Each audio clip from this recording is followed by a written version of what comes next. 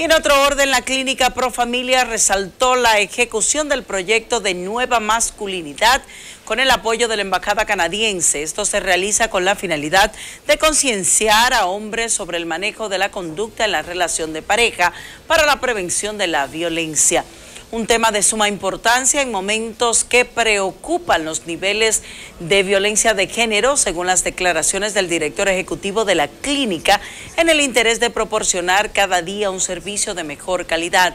Se moderniza y actualiza constantemente, sobre todo en el área de salud sexual y reproductiva.